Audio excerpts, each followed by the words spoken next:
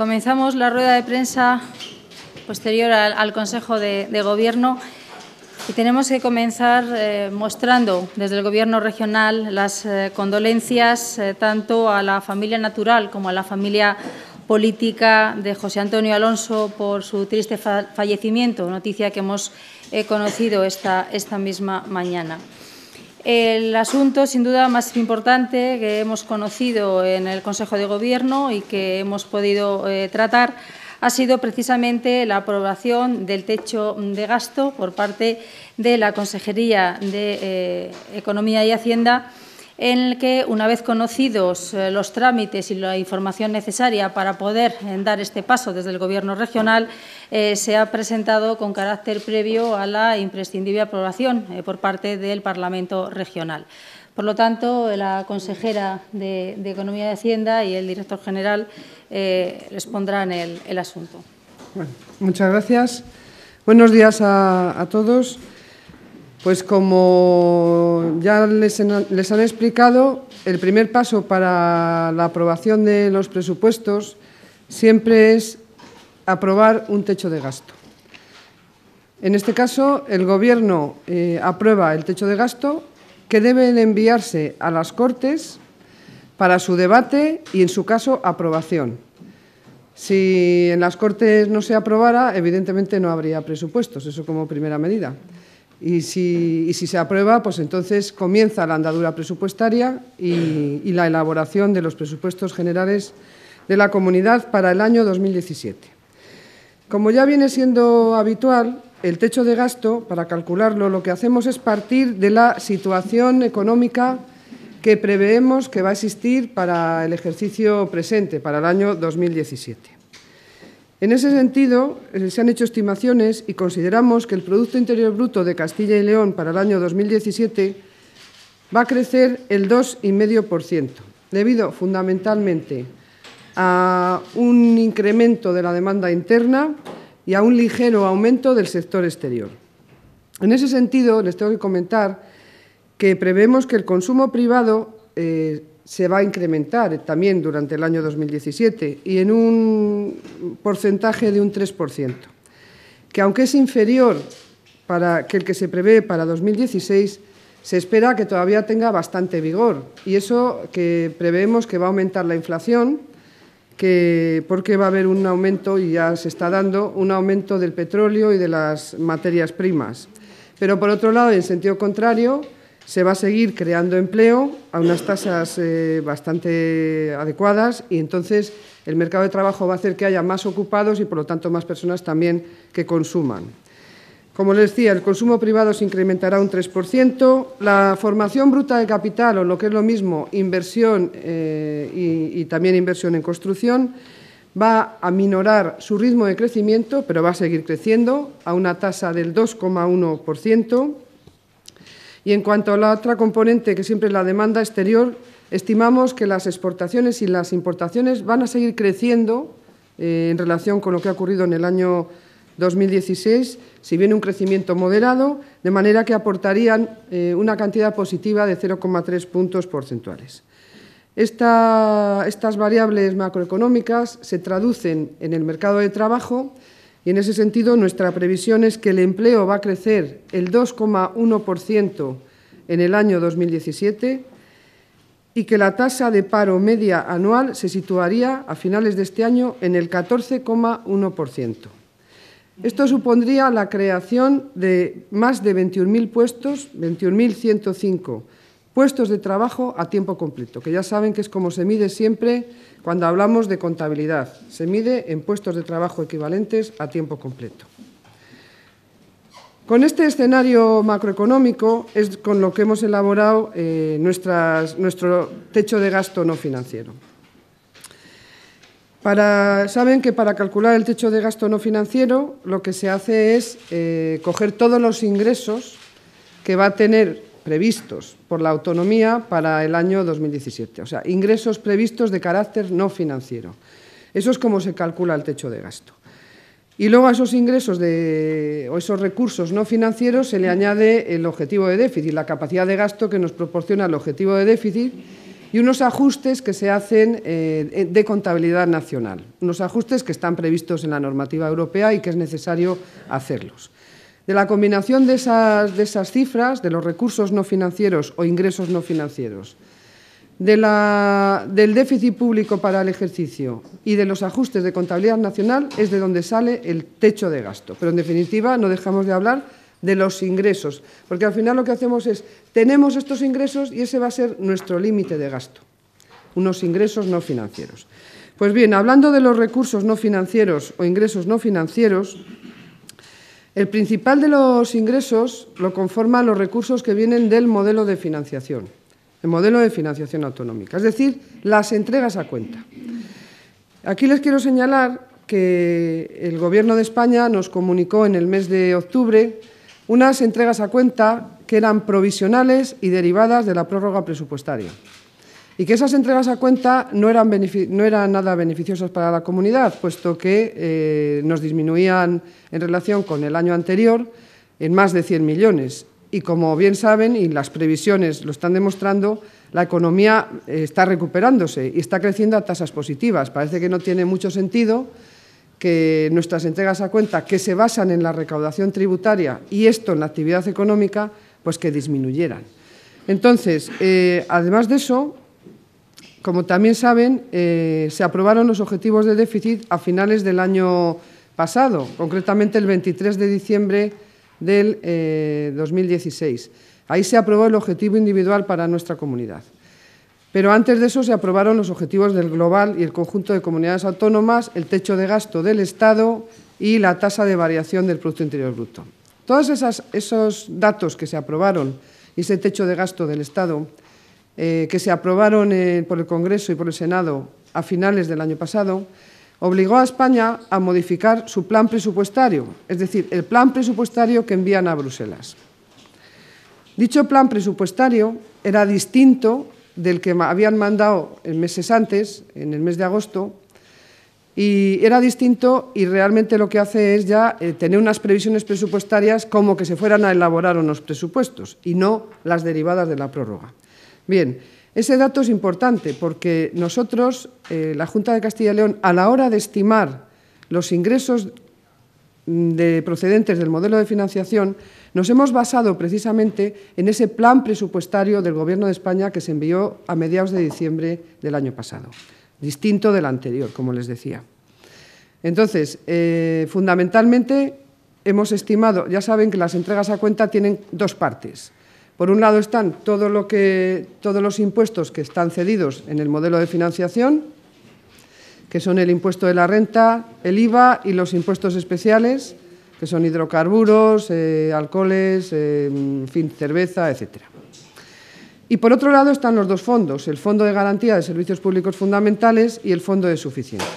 Pues bien, eh, lo que hemos hecho ha sido aplicar más o menos lo que estaba previsto en el plan presupuestario que España presentó a Bruselas, que es una tasa de crecimiento de los en general de los ingresos tributarios de un 4% que coincide con el, con el crecimiento del Producto Interior Bruto a precios eh, nominales, ese 4% eh, es lo que ha aplicado España y nosotros en general es lo que hemos aplicado a nuestros, a nuestros impuestos, a los impuestos que están cedidos en el modelo de financiación. Y además de eso, ponderado por los pesos que el mismo plan presupuestario eh, pues está establecido y que ha presentado España a la Unión Europea. En definitiva, que esto es un poco lioso. Eh, eso, más una congelación de los fondos de transferencias y del fondo de suficiencia, nos dan unos ingresos por las entregas a cuenta y procedentes del modelo de financiación de 6.031,28 millones, lo que supone una subida del 2,02%, del 2%, en definitiva. Otras de las partidas de ingresos son los fondos de la Unión Europea, que se estiman en 1.173 millones y que corresponden tanto a la PAC, 923 millones, como el resto, que son 250, a los fondos derivados de los programas operativos FEDES, Fondo Social Europeo, FEADER. Eh, y luego, las otras transferencias que tenemos son las que proceden del Estado. Saben que no se han aprobado los presupuestos ni el proyecto, pero aquí lo que se ha hecho es ser muy conservadores en el sentido de poner aquellas transferencias que sabemos mm, con cierta seguridad o con práctica seguridad que nos van a llegar eh, en el ejercicio 2017 y que se derivan de compromisos que el Estado tiene desde siempre. Por ejemplo, que nos financian una parte de la dependencia, pues ya siempre mandan unas transferencias que se aplican a la dependencia. Bueno, pues lo que se ha hecho es comprobar que esas transferencias vienen todos los años, con independencia de que haya prórroga o haya presupuestos. Bien, esas transferencias que se eh, van a recibir en el Estado son 578 millones. Y por último, en el apartado de otros ingresos, están contenidas una serie de, bueno, una serie de partidas, entre otros los tributos cedidos y gestionados por la comunidad autónoma, que estimamos que se va a recaudar por ese concepto 759 millones, las prestaciones de servicios, eh, precios públicos, reintegros, otros 283 millones. Total, que como ven, en el apartado de otros ingresos estimamos que se van a recaudar 1.042 millones. Todos estos ingresos, como digo, o recursos no financieros, suman un montante total de 8.826 millones, lo cual supone que esta partida crecería en, en, relación con el presupuesto del año anterior en un poco más de un 1%, 1,08. Como les decía al principio, hay que sumar a todos esos ingresos que esperamos recibir el, déficit público del ejercicio, porque en definitiva supone mayor capacidad para gastar. El déficit público, como les decía, se fijó a finales del año pasado, el 23 de diciembre. En un principio, el, el otro dato que estaba aprobado era de 0,1% de déficit público. Y el acuerdo del Consejo de Ministros de, 20, de 23 de diciembre lo establece en el 0,6%. Por lo tanto, hay una diferencia muy importante entre el último objetivo fijado y el que se ha establecido definitivamente, de 0,1 a 0,6. Ese es el menos 0,6, es por tanto el objetivo de déficit de nuestra comunidad autónoma y eso supone una mayor capacidad de gasto de 348 millones de euros. Pues bien, si sumamos los ingresos no financieros, más el objetivo de déficit, más unos ajustes que hay que hacer, y que también les he, comentado al principio, de contabilidad nacional, que siempre nos obligan a hacerlo, que en definitiva está unido a conceptos muy técnicos, como se trata de los empleos de los empleos no financieros y que hay que ajustarlo, esos ajustes de contabilidad nacional suponen menos 15,12 millones. Bien, esto, la suma de estos tres conceptos, nos da un límite de gasto de 9.159,83 millones y un incremento con relación al gasto financiero aprobado en 2016 del 2,8%. Esto viene a suponer un incremento de 250 millones de euros. Y les digo que es el más alto desde que se hace el techo de gasto que se empezó a hacer en el año 2012. Y por último, señalarles que este límite de gasto financiero que hoy ha aprobado el, el Gobierno respeta todas las exigencias que están contenidas en la Ley Orgánica de Estabilidad y también en nuestra Ley Orgánica, que es, respeta la regla de gasto, que, crece al 2,1%, y que es la tasa de referencia del PIB, respeta el objetivo de déficit del 0,6% y respeta el objetivo de deuda del 19,8%. Y, por tanto, eh, es un límite de gasto, como digo, que cumple con nuestros objetivos eh, frente a España y frente a la Unión Europea. Y eso es lo que les quería comentar. Bien, muchas gracias, consejera.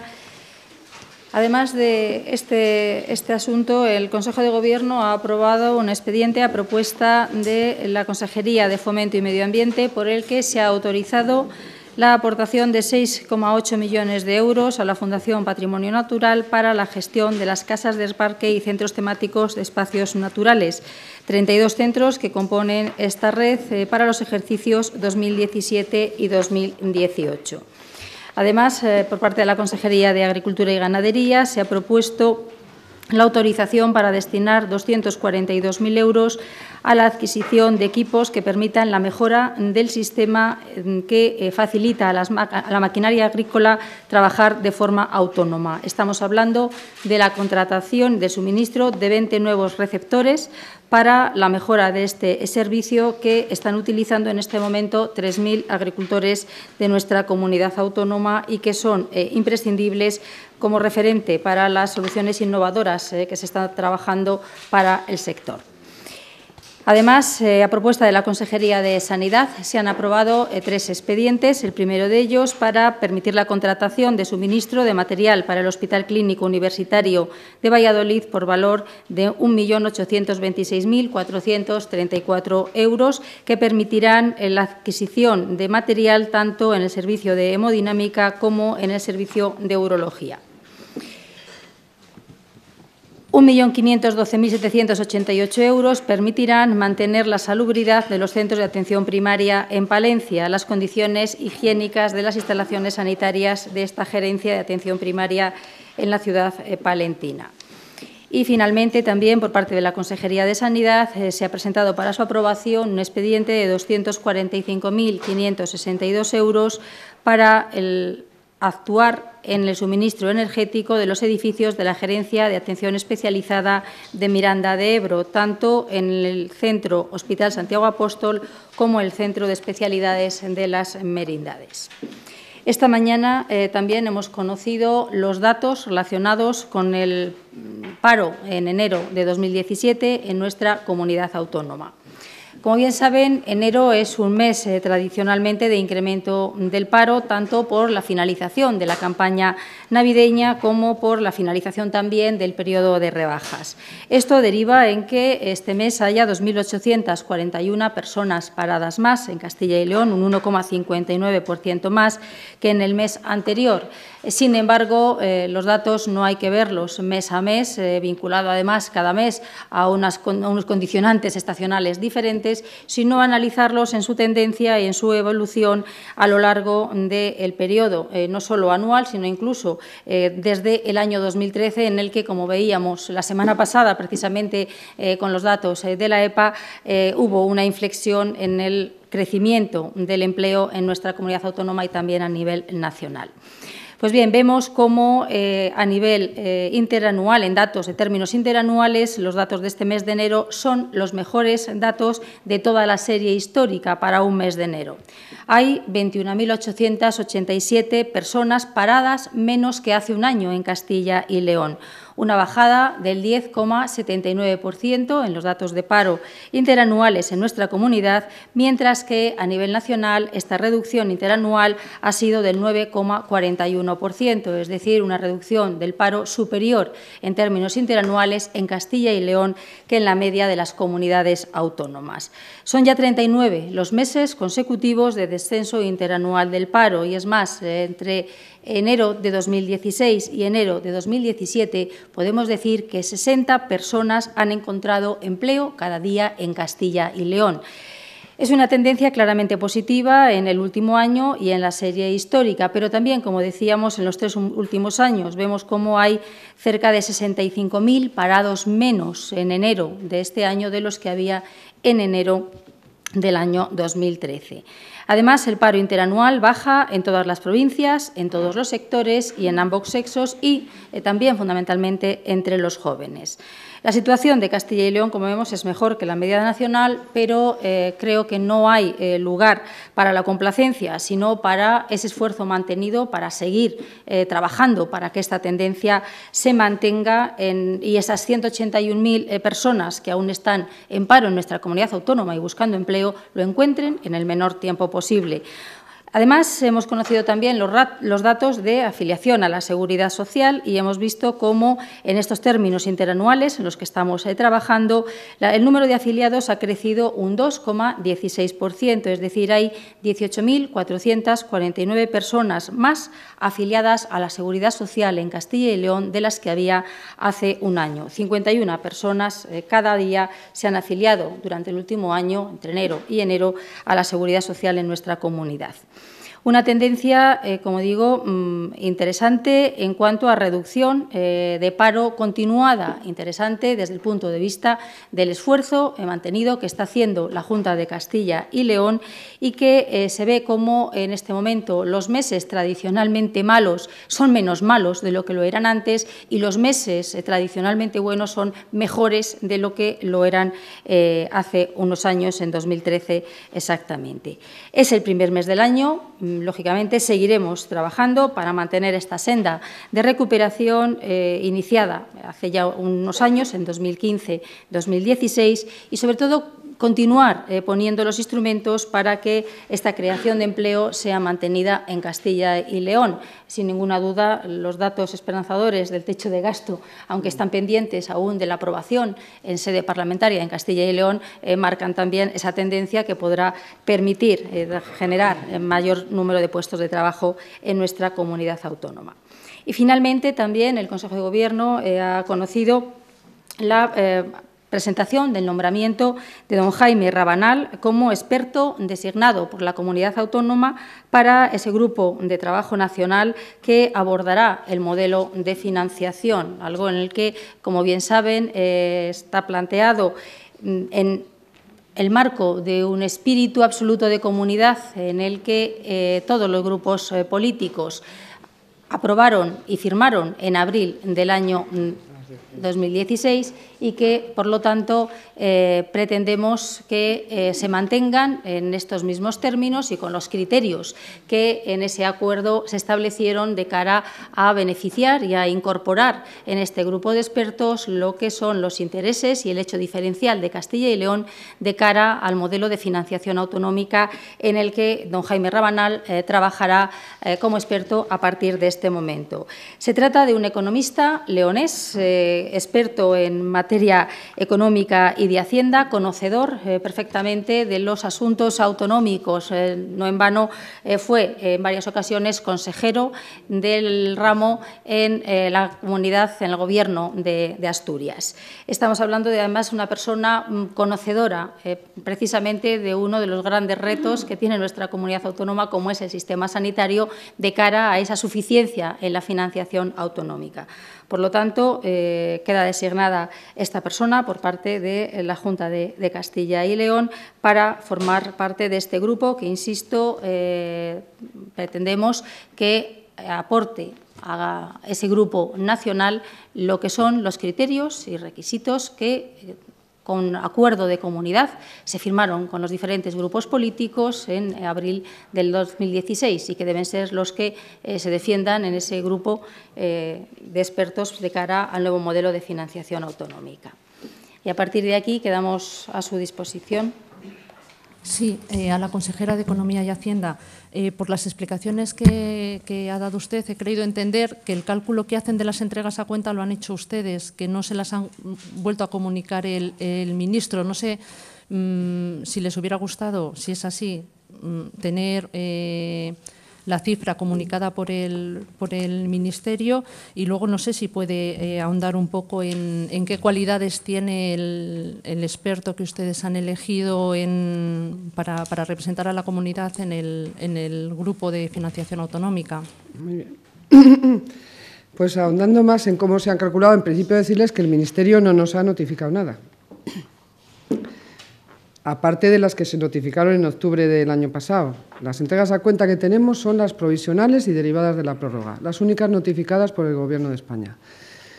Pero bien es verdad que, según nuestra legislación, la legislación autonómica, a partir de que se aprueba el objetivo de déficit para la comunidad autónoma, tenemos un plazo establecido, que bueno, es, en este caso ha sido inhábil, que ha sido enero, para, para poder hacer el techo de, para hacer el techo de gasto.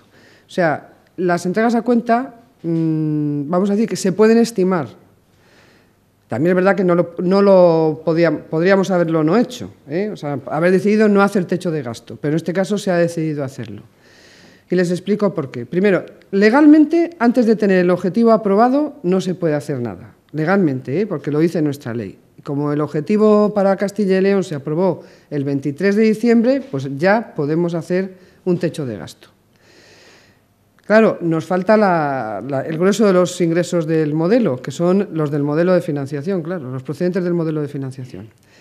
Teníamos dos alternativas. Una, hacer un techo de gasto con lo provisional que nos comunicaron y, por tanto, un, techo de gasto que no responde a cómo ha ido la actividad económica ni en Castilla y León ni en España y cómo va a ir la actividad económica en Castilla y León y en España, porque, claro, estamos hablando de crecimientos, me da igual, 2,8, 3, de crecimientos de, rondando el 3% en el año 2016, de crecimientos superiores al 2 en todo caso, pero el 2 y pico en el año 2017.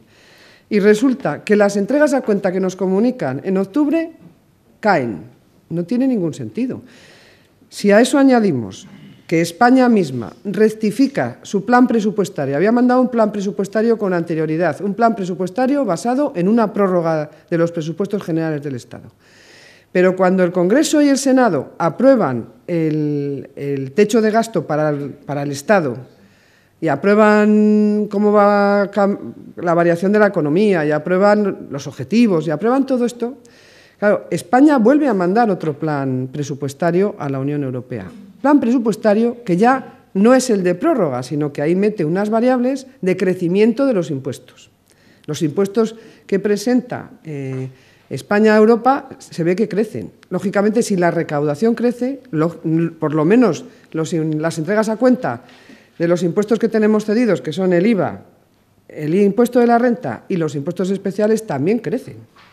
Entonces, la estimación que hemos hecho ha sido, en base a ese plan presupuestario que se presenta, hemos hecho una estimación. La ley no dice que no podamos hacer, que tengamos que hacer el presupuesto con las entregas que nos comunica el, gobierno. O sea, te dice que es una previsión de ingresos. Eso es lo que dice la ley. Pero obviamente nosotros, hasta que no hemos tenido el objetivo de déficit, legalmente no se podía haber hecho y, y en ese momento decidimos estimar unas entregas a cuenta basándonos en ese último plan presupuestario que presenta el Gobierno a Bruselas y es de donde sale, que ese plan presupuestario parte de un crecimiento del PIB nominal, que es más que, lo que, el real, que es el que sale siempre en estos números, eh, que de un 4%. El gobierno hace una previsión, un plan presupuestario con un crecimiento del 4% en términos nominales y nosotros hemos hecho lo propio. Y teniendo en cuenta que crecen, que pues tiene más peso la imposición directa que la indirecta. Bueno, pues se ha tenido en cuenta. Entonces da unas subidas, pues el impuesto de la renta sube el 4% y pues el IVA anda por encima del 5%. Esas son las subidas que se han estimado. Hay otra parte que no está, no está directamente relacionada con, con, los impuestos, otra parte del modelo, que son dos fondos, el Fondo de Transferencia de Servicios Públicos Fundamentales y el Fondo de Suficiencia. El Fondo de Suficiencia siempre va recogido en los presupuestos generales del Estado. Y de transferencia de servicios públicos fundamentales, bueno, se calcula, pero se calcula no solo en base a cómo crece la recaudación o cómo crece la economía, no, se calcula también teniendo en cuenta otras variables que son, por ejemplo, la población ajustada, que tiene que ver mucho con la población. Bueno, con un criterio de prudencia, lo que hemos hecho ha sido eh, coger las dos, lo que nos, había comunicado el Ministerio en, en octubre y lo hemos dejado tal cual. O sea, no hemos crecido ese, ese fondo. Por prudencia, porque como la población ajustada es un término bastante complejo de calcular y que depende de muchas variables, pues hemos decidido congelar esas dos partidas. Y en cuanto a la liquidación, la entrega cuenta de la liquidación del año 2015, eh, que también se comunica, pues hemos puesto la que el Gobierno nos había comunicado en, en octubre. Porque se supone que está medio calculada, por lo menos esa es un cálculo que han hecho. Entonces, realmente, ¿qué hemos hecho? Solamente hemos estimado que los impuestos van a crecer, pero en total consonancia con lo que ha hecho el Gobierno de España en su plan presupuestario. No tiene presupuesto, como saben, pero tiene un plan presupuestario. Objetivo de déficit, marcado el 23 de diciembre. Eh, entregas a cuenta del modelo, haciendo esa estimación. Solo hemos crecido, hemos hecho crecer los impuestos que derivan de una mayor actividad económica, como digo, de acuerdo con el plan presupuestario que presentó España a Europa a mediados más o menos de diciembre, concretamente el 9 de diciembre. ese plan no es el mismo que presentó derivado de la prórroga, es otro. Y en eso nos hemos basado. Eso en la primera pregunta, no sé si lo he aclarado. Y la segunda hablaba eh, del experto. Y del experto que me preguntaba exactamente qué criterios. Bueno, eh, en principio también hemos visto, saben que ya han, ido nombrando expertos las otras comunidades autónomas, ya hay muchas que han nombrado al experto. Eh, en principio, bueno, mm, un poco ves por dónde van los tiros. En las otras comunidades autónomas no han nombrado a ningún experto de la estructura de la estructura de la consejería. Es decir, no han nombrado un alto cargo o un funcionario, sino que han nombrado pues, gente, como, vamos a decirlo así, como más independiente. En el sentido, mucho catedrático y bueno, pues nosotros eh, repasando un poco eh, las personas que, que, podían conocer bien el modelo de financiación y, bueno, pues se ha pensado en, en Jaime Rabanal porque es que fue consejero de Asturias, del Principado de Asturias. Eh, yo coincidí con él en la negociación del modelo anterior en muchas ocasiones, ustedes lo saben, porque bueno, los que estaban aquí por entonces saben que, que tuvimos muchísimas reuniones, que hablamos muchísimo por teléfono, que, en fin, que compartimos muchísimo de la negociación del modelo y, y bueno, pues la verdad que es una persona que es de León, que conoce muy bien, por tanto, nuestra comunidad. De hecho, ha vivido aquí toda su vida, menos el tiempo que estuvo en Asturias de consejero. Y que le yo, a mis efectos, desde luego, le considero un gran experto en financiación autonómica. Con los pies en el suelo, porque, no sé, a lo mejor siempre puedes caer en la tentación de mandar a una persona más teórica, pero esta persona es una persona que conoce bien la realidad, que pisa la realidad y que evidentemente creo que es la que mejor nos puede ayudar a, defender cuál es la postura de Castilla y León. Eh, y, por eso se ha pensado en ella. Además, es una persona que por su procedencia es economista, pero eh, conoce muy bien el ámbito sanitario, que la sanidad saben que es uno de los elementos del modelo que más nos preocupa. La financiación de la sanidad es, eh, es, una pieza casi separada en el modelo de financiación. Y esta persona es gran conocedora de la sanidad porque ha sido gerente del, INSALUD en tiempos, luego ha sido también técnico de nuestro servicio de salud. Eh, y bueno, yo creo que en ese sentido el Gobierno ha considerado que era la persona que mejor nos podía representar, que evidentemente va a contar con todo el apoyo, no todo el apoyo, o sea, toda la, estructura de la Consejería de Hacienda para cualquier tipo de trabajos, de simulaciones, de todo lo que haya que hacer, va a contar eh, todo, lo que, todo lo que necesite, estamos a su entera disposición, porque es el asunto que más nos preocupa a todos.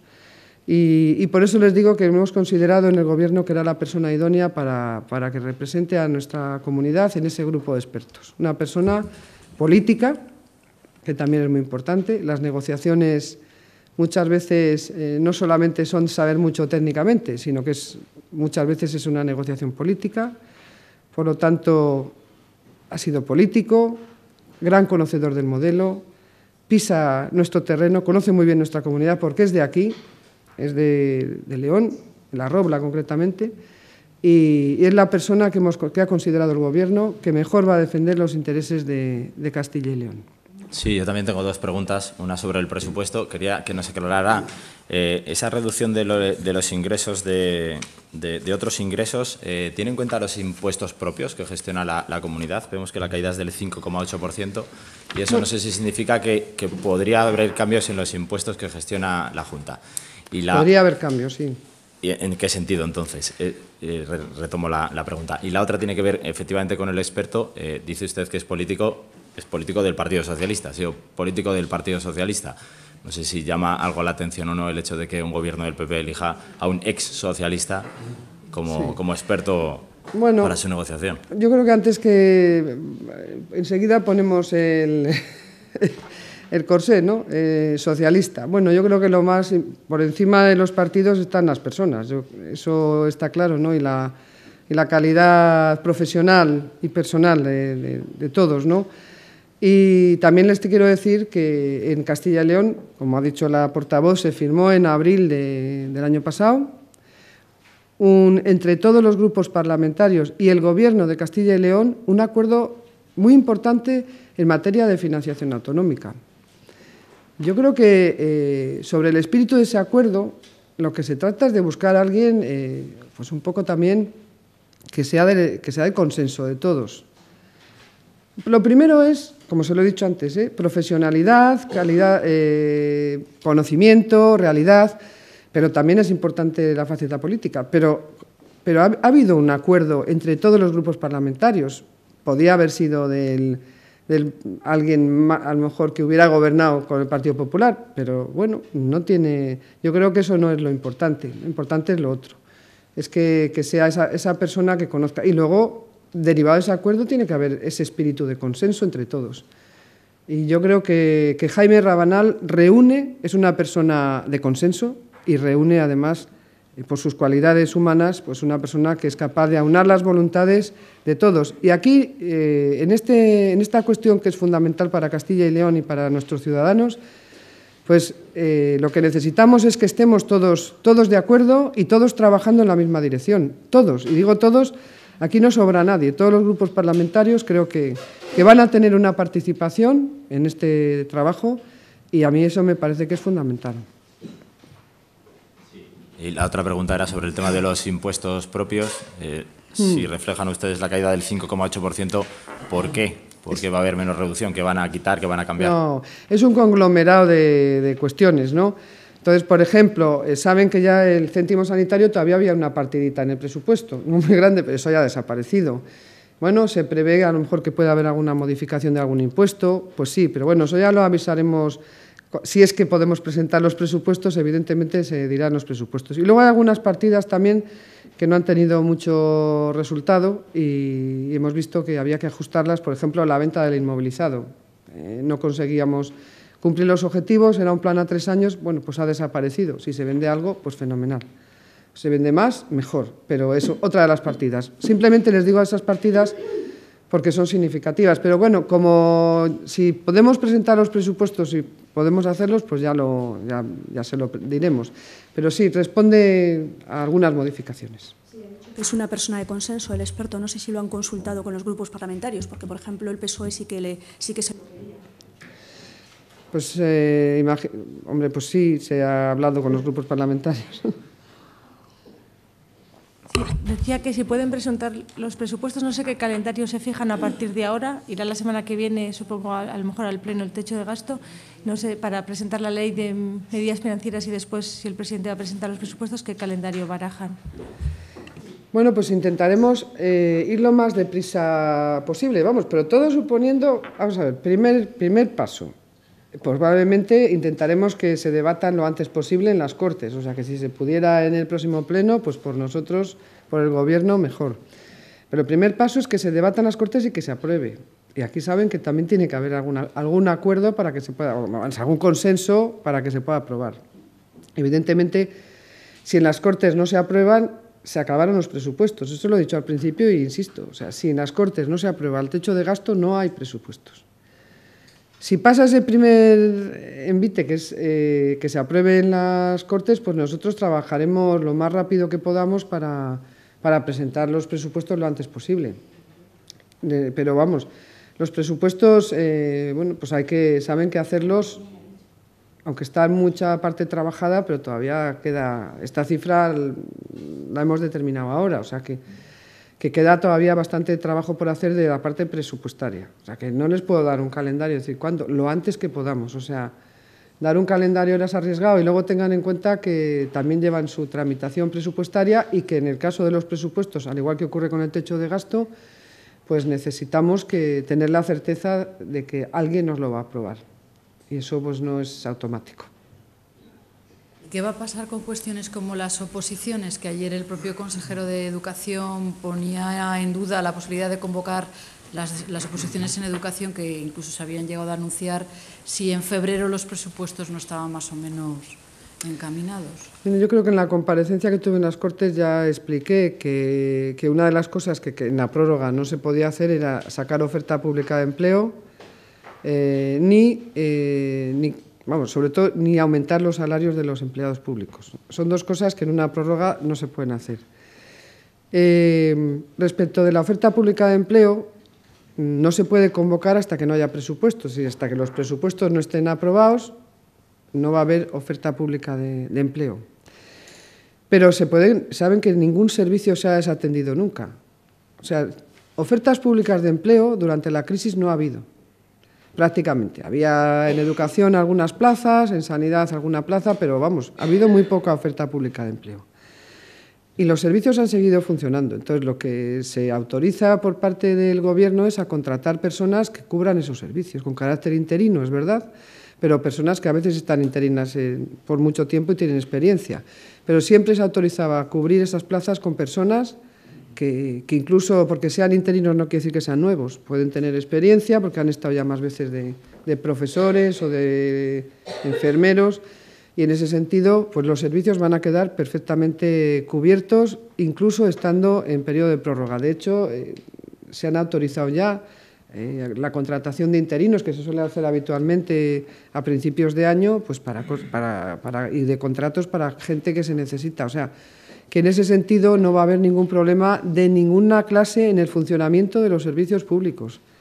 Vamos, que esto no es una cosa nueva, que no haya habido oferta de empleo, es una cosa que ha venido pasando algunos años, sobre todo cuando estábamos tan mal. Entonces, eh, ahora mismo garantizamos que los servicios van a estar bien cubiertos con personal, eh, con el personal que hay, evidentemente, y con el personal interino que se necesite. Sí, habla de la comparecencia en las Cortes hace poco.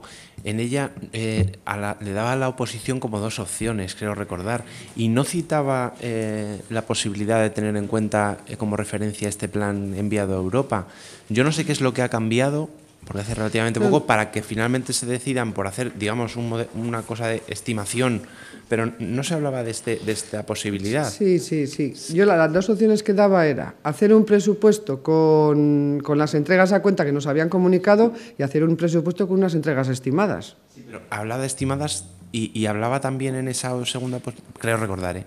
en esa segunda posibilidad de hacer un acuerdo de no, disponibilidad. Sí, eso ya lo pensaremos según vaya discurriendo el. Pero eso. Eh, pero esa dentro, dentro de que se hagan estimadas. Puede ser así, depende de cómo veamos el, el interpresupuestario del Gobierno de España. Depende, si el Gobierno va andando por y va avanzando en esos presupuestos generales del Estado, pues eh, los nuestros avanzarían sin ningún problema. O sea, quiero decir, se ejecutarían sin ningún problema. Si al final, no sé, puede que se encuentre con algún obstáculo el Gobierno al hacer los presupuestos generales del Estado, pues habría que acudir a una figura de ese tipo, porque ya les expliqué que las entregas a cuenta que nos llegan son las, del, eh, las que nos han comunicado. No sé si nos puede eh, porque, eh, explicar la trascendencia que tendría un acuerdo de no disponibilidad desde el principio de año, ¿no? como les decía, porque normalmente suelen ser ya avanzado el año. Pues pero eh, esa es una opción que, es una muy probable. Está ahí, no, está ahí, pero no es que está ahí la opción, claro, siempre, pero los gobiernos siempre pueden hacer no disponibilidades cuando lo estimen. O cuando se vea que peligra, o sea, lo que no puedes hacer es, si no tienes presupuesto, no puedes hacer nada en ese sentido. No puedes acordar no disponibilidades, pero lo importante es primero tenerlo. Que se pueda acordar, claro. Se puede acordar retenciones, no disponibilidades, eso siempre pero no, no, quiere decir que se vaya a acordar en estos momentos. Evidentemente yo lo planteé a los grupos y ninguno se pronunció. O sea que al final pues, el gobierno gobierna y decide.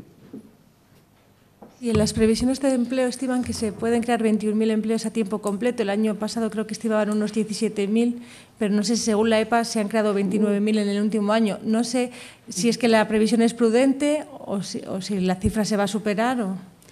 Bueno, el año pasado se superaron las cifras que estaban previstas, porque de hecho la creación de empleo estaba en el 3 y pico por ciento, que era, nunca, nosotros nunca habíamos previsto que superara, ni siquiera llegara al 3.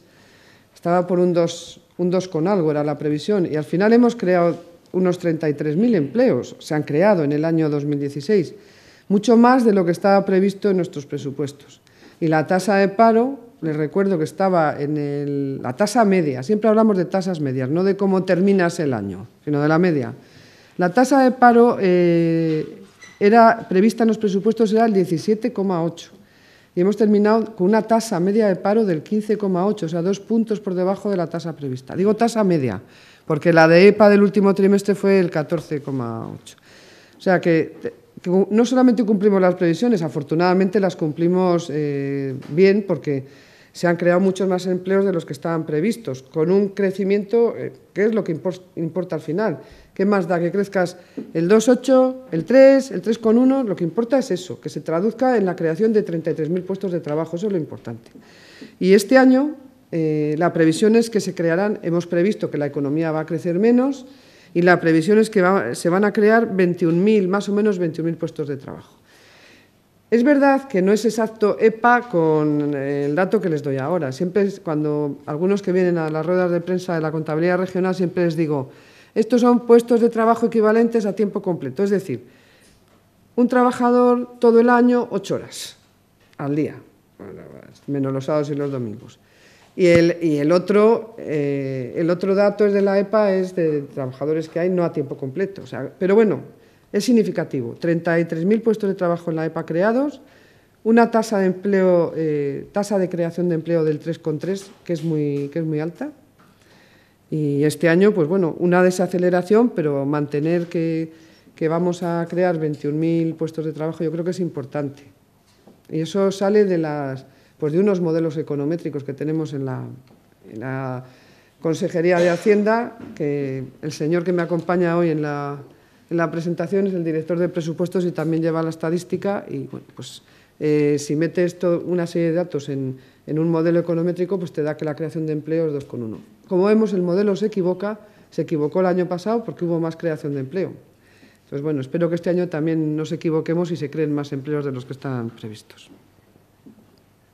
Sí, me gustaría que valorara el grado de riesgo que asumen aprobando este techo de gasto en cuanto a las cuentas, que bueno, hay, algunas incertidumbres y sobre todo políticamente si creen que van a encontrar trabas a la hora de, negociarlo porque se aprueben en las Cortes. políticamente este techo de gasto es el más favorable desde el año 2012, no debería de tener problemas, salvo que alguien se instale en el no por el no.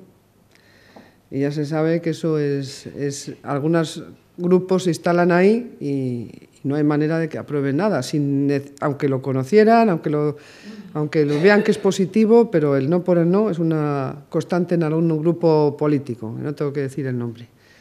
Pero evidentemente eh, yo espero que esto concite un consenso, porque realmente eh, si no eh, es positivo para la comunidad el que haya unos presupuestos que vayan a crear, pues eso, 21.000 puestos de trabajo y unos presupuestos que, que, que, unos presupuestos que pueden crecer hasta 250 millones el gasto no financiero. En definitiva, Creo que se podrían hacer unos presupuestos buenos. Hasta digo, ¿eh? que esto es un techo. Nunca es el presupuesto, esto es un techo. Pero vamos, el techo es bueno. Y yo creo que esto debería concitar un, un cierto consenso, al menos con los que no se instalan en el no por el no. No sé qué más me ha preguntado. ¿Me has preguntado algo más? ¿no? Sí, no, hablaba no solo de incertidumbre política, sino de incertidumbre a, la ¿no? Eh, esto más o menos viene a ser unos 177 millones más de lo que nos comunicaron en, octubre. Esa es la incertidumbre eh, económica que puede haber. Eh, claro, en un presupuesto, en un techo de gasto no financiero de más de 9.000 millones, pues estamos hablando de una cantidad que es mínima. O sea que podemos asumir ese riesgo económico y de cuentas eh, perfectamente a lo largo del año. Como digo, siempre te cabe la posibilidad de hacer una no disponibilidad si es que vemos que ese dinero no va a llegar. O sea que yo creo que los riesgos están medidos. El riesgo económico está medido y es un riesgo totalmente asumible, porque creemos que es más beneficioso lo que, pueda, lo que se puedan mejorar los servicios y lo que puedas prestar unos servicios de mayor calidad que el riesgo económico que podamos asumir.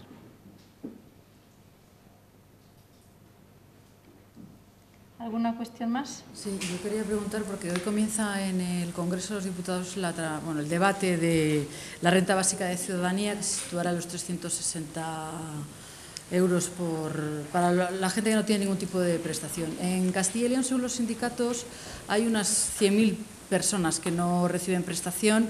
Yo no sé si la Junta está planteando o se puede plantear eh, cambiar eh, la, renta básica nuestra de Castilla y León para llegar a más gente o se podría cubrir con la que pueda aprobar Madrid.